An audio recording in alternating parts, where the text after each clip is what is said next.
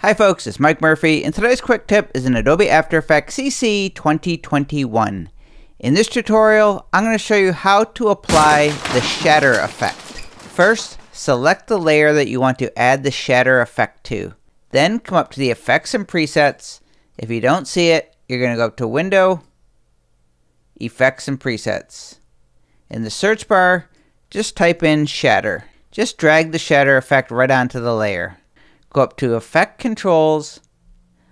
Under View, click on the drop down menu and change it from Wireframe plus Forces to Rendered. If I drag the playhead, this is the default shatter effect currently. Next, we're going to twirl down shape and change the pattern. It's currently set to bricks, but in this example, we're going to select glass.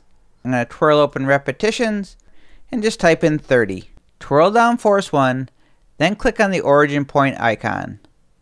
The crosshairs indicate where the origin point is, or where the shatter effect is currently starting. You'll see if I drag the playhead, the shatter effect is currently starting from the center. But we want it to start on this left side.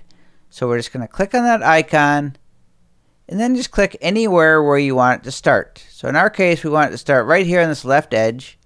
And now if I drag the playhead, you'll see the shatter effect now starts on that side. Next, we're going to change the radius. I'm going to drag this all the way to the beginning and click on the stopwatch for radius. That'll create a keyframe down here.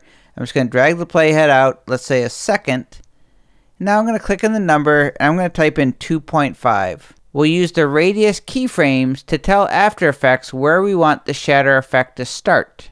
So I'm just going to click on radius to highlight both keyframes and I'm just going to drag these out a little bit. I'll turn on the bike layer now so you can see. So the bike comes in from the left side. We want it so when the tire hits the logo, the shatter effect starts. And we can just move these keyframes for radius to get the timing exactly right. I'm going to zoom in a little bit. And you'll notice when the tire hits the logo, the shatter starts up here.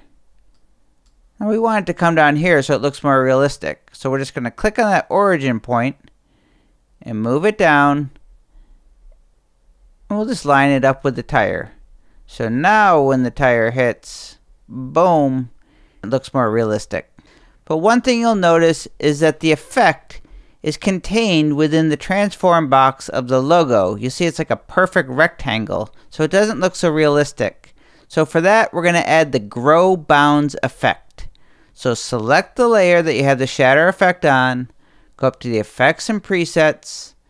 In the search box, you're just going to type in GROW for grow bounds. It's under utility and just drag it onto the layer. The grow bounds has to be above the shatter effect in order for it to work. So we're just going to click on the effect and drag it above, twirl down the pixels, and just going to crank the slider. 100% is not enough, so I'm going to click in there. I'm going to type in 600 but now you'll see with the grow bounds effect, it's going to cover our entire composition and look pretty cool. Add some sound effects or other elements to your animation, and that is the shatter effect in Adobe After Effects CC 2021. My name is Mike Murphy. Cheers.